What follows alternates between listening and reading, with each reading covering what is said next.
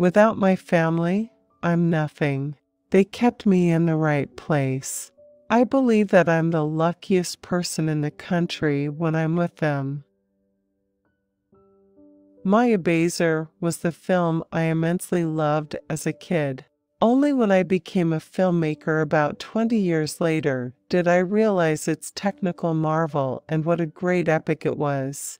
I and my visual effects supervisor, while making Yamadonga, took two days to understand the magnification shot of Ghatotkacha's persona.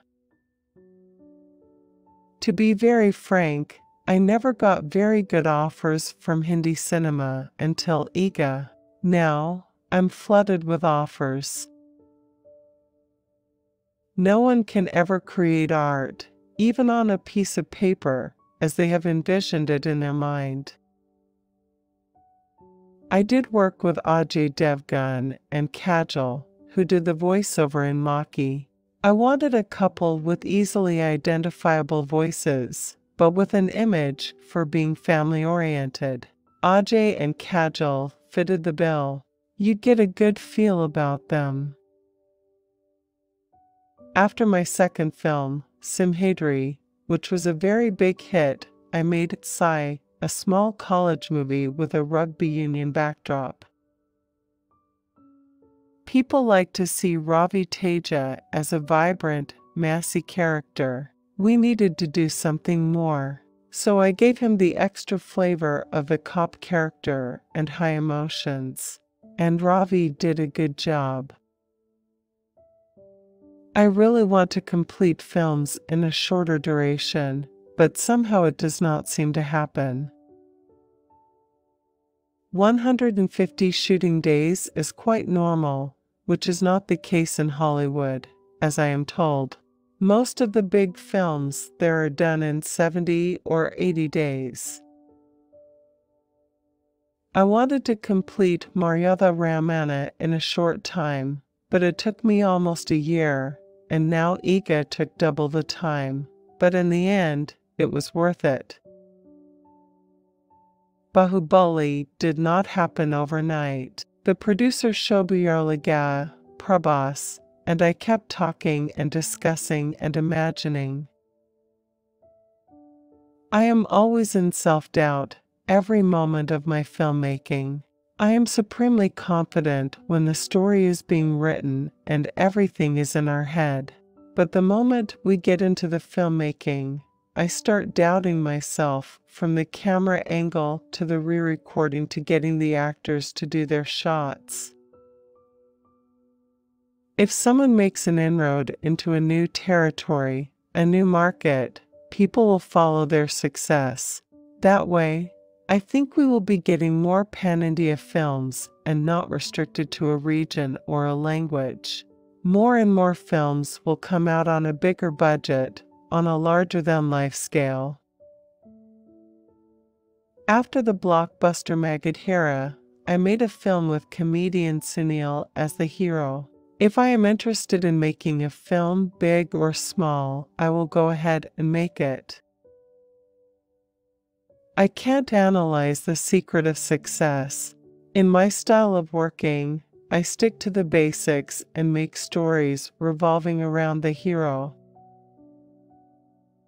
I shoot a scene, edit it, and then, two days later, I doubt whether or not it has turned out right. I reshoot a small part of it, Go back to the first edit of it and do all sorts of things.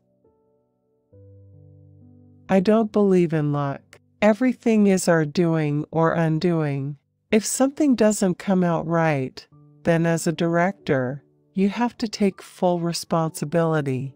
You can't just say, No, I gave this job to the music supervisor. They promised me they would do it, and they didn't do it. You can't blame anyone else.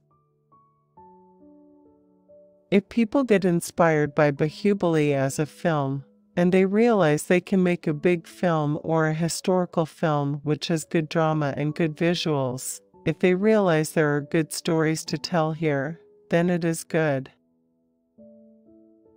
Any hit films, impact creating films, leave their mark on the industry. It is in human nature to try to follow something that is creating an impact. I would say the most important aspect of direction is that you, as a director, and your producer need to be on the same page, the same line of thinking. If that doesn't happen in the beginning of the film, then that will show in the final product 100%. No director can ever deliver what's on his or her mind totally, but Baahubali 2 is the closest I can get in executing what I had envisaged onto the celluloid. I keep my options open about my next story. There will always be those vague discussions at home. I don't know how it is in other industries, but as far as our industry is concerned, everybody takes their energy from the director. I myself was very exhausted, but I was acting as if I was full of energy and was pumping it into the whole team. I'm well aware that I have put my actors in difficult positions because of my vision, but when they see I work for the betterment of the product, they understand the pain I put them through. In childhood, we used to read stories from the Arabian Nights. Why were we so interested when it happened somewhere in Arabia, in a different culture? Until now, we hadn't gone to the Hindi audience with a good story. I think since I was about seven years old, that was when I was first introduced to the comics called Amar Chitra Katha that are published in India. They're not about a superhero, but they encompass all the stories of India, the folklore, the mythology, everything. But most of these stories are about Indian historical figures. As a film enthusiast and a lover of stories, I have read biblical stories and I've seen biblical films with the same zeal as I have read and seen my own country stories. Most of the time, the creator doesn't know where he gets his inspiration from. Creating is one thing, telling the story is one thing. I see myself more as a storyteller than a story creator. I have huge respect for Sridevi Ji as a flag bearer of the Southern film industries in Mumbai for many years. I wish her all the best. And I wish Mom a big success, as the trailer looks very intriguing and promising. If we make films only for the front benchers, we can't make money. Hence, we have to make it for a majority audience. As my films are mass films, I deal with emotions in raw form, they are not subtle. I don't mind being branded. That does not mean I like only those kinds of films. I like all kinds of films. Bommarillu is a favorite film, but I can't make that kind of film. A star is different, and an actor is different. But there is an actor in every star, and they, too, look for challenging roles to satisfy the actor in them. After Maryada Ramanna, I wanted to make a quick film on a shoestring budget.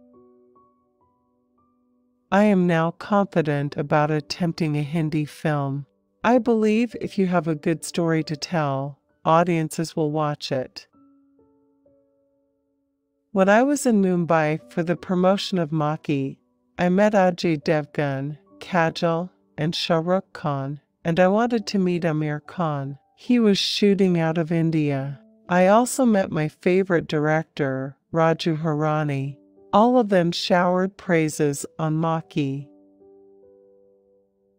In theory, I know that if you have a universal theme and a good story told well, it will work everywhere. Audiences are always open to an interesting story. Baahubali is not about big budgets, big visuals, or massive marketing. If a hero, producer, and director in Bollywood can have that kind of trust, something even bigger than Baahubali is possible. The consolidated appreciation that Eega is the pride of the Telugu film industry is the biggest award I can get.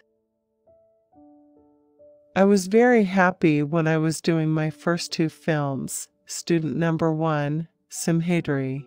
I had absolutely no doubts I would just place my camera at one point and say, that is the right way.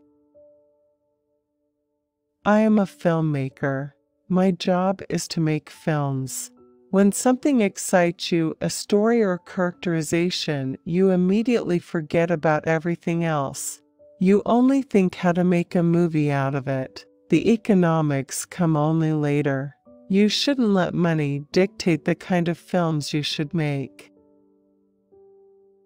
You go to the edit room and see one scene which has come out fantastically, and you feel the film will set records.